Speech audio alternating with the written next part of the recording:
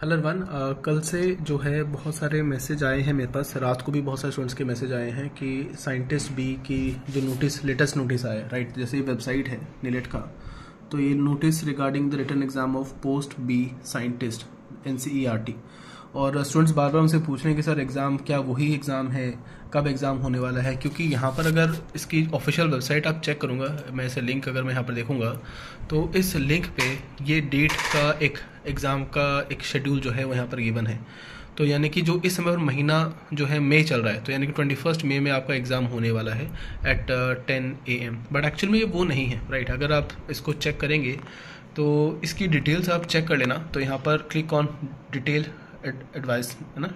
इसको डिटेल्स आप यहाँ पर चेक करोगे जैसे ओपन करेंगे ना तो ये ऑफिशियल एक लिंक जो है आपके पास मिल जाएगा जिसके अंदर हमारे पास सिर्फ़ और सिर्फ़ right this is only nine vacancies तो ये सिर्फ़ नाइन वैकेंसीज़ के लिए था और ये अलग है तो इसको आप करेक्ट कर लीजिएगा ठीक है ताकि आपको ये आ, समझ आए ठीक है क्योंकि लोग हैं इसको काफ़ी कन्फ्यूज़ हो रहे हैं इस चीज़ के लिए।